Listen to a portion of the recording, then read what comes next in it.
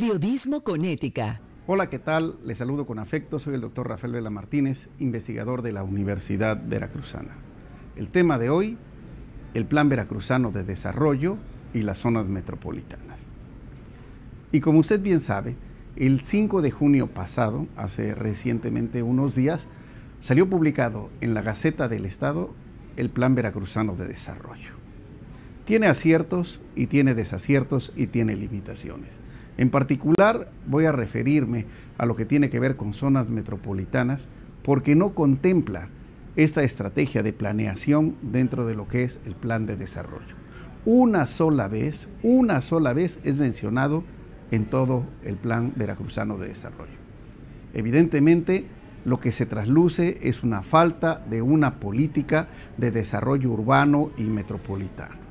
No se menciona en ningún momento lo que son las ciudades medias, que tenemos ocho ciudades medias en Veracruz. Ningún estado, ninguna entidad federativa tiene tantas.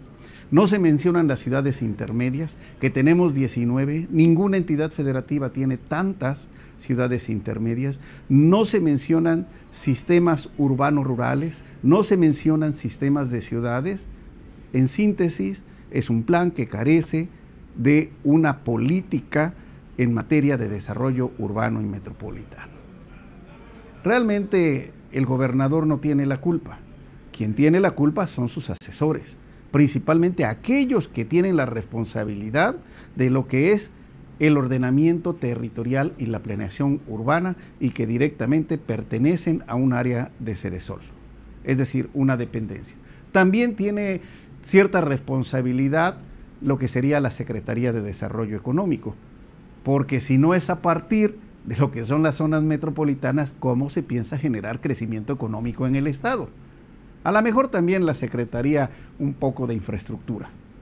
¿Por qué? Porque entonces no queda claro cómo se está planeando lo que es la estrategia carretera, si no es o debería de ser a partir de la integración funcional de lo que son los microsistemas económicos en la entidad. Recientemente se ha impulsado a nivel nacional lo que es una estrategia de lo que sería las áreas urbanas y conurbadas. Viene desde el centro. Se nos ha invitado a un conjunto de investigadores a que participemos dentro de esta gran estrategia porque se advierte que Veracruz es importantísimo y fundamental dentro del Plan Nacional de Desarrollo y dentro de lo que sería la planeación urbana. Por eso me parece que es conveniente, como siempre hemos dicho, la gente de izquierda, es conveniente enmendar, resarcir aquellas limitaciones que se tengan.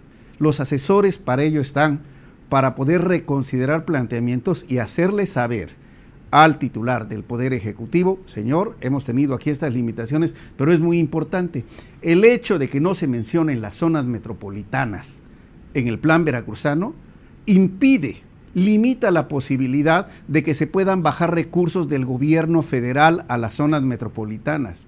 Desde el 2004 siempre han estado castigadas las zonas metropolitanas en Veracruz porque no les han bajado recursos federales. Esto siempre se quedó en las estructuras que gobernaban el país desde la perspectiva federal. Hoy que teníamos la oportunidad, me parece que hay que resarcir esta situación. Y es más, yo voy mucho más allá el que se tenga que hacer la actualización de las zonas metropolitanas. El año pasado, en abril del año pasado, se modificó la metodología del el Consejo Nacional de Población para delimitar las zonas metropolitanas. Eso permite actualmente incorporar nuevos municipios a las zonas metropolitanas, tales como cuál, pues Izhuatlán del Café, Atoyac y muchos más que estarían cumpliendo con ese elemento, pero incluso también crear una nueva zona metropolitana que sería la de Tuxpan como núcleo central. De tal manera que aún estamos en la oportunidad. ¿Qué se tiene que hacer? Ni siquiera se tiene que gastar dinero. Esto simplemente le abre la posibilidad a los municipios metropolitanos de bajar recursos, de captar recursos desde la federación para generar empleo y para combatir la pobreza. Lo único que se tiene que hacer es un decreto administrativo por parte del Poder Ejecutivo o un decreto legislativo en el caso del Poder Legislativo. Y con esto se soluciona todo. Un decreto administrativo como el 17 de agosto del 2017, donde se da a conocer cierta actualización de zonas metropolitanas. Y enviar ese decreto a lo que sería la SEDATU a nivel federal y con ello ya quedan incorporados los municipios y entonces podrán bajar cuantiosos recursos para generar crecimiento económico y empleo en el estado de Veracruz. Pero sobre todo una estrategia para combatir la pobreza e incluso para generar empleo a esos nuevos migrantes que se están quedando en la periferia de las ciudades medias y zonas metropolitanas. Pero como siempre, usted tiene la última palabra. Muchas gracias.